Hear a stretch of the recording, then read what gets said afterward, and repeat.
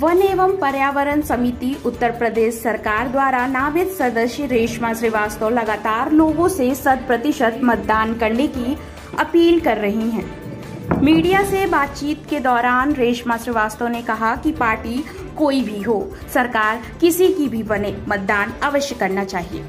मतदान करना हम सब का कर्तव्य है और एक अच्छी सरकार चुनने में आपका एक वोट निर्णायक साबित हो सकता है इसलिए घर से निकलें और मतदान ज़रूर करें।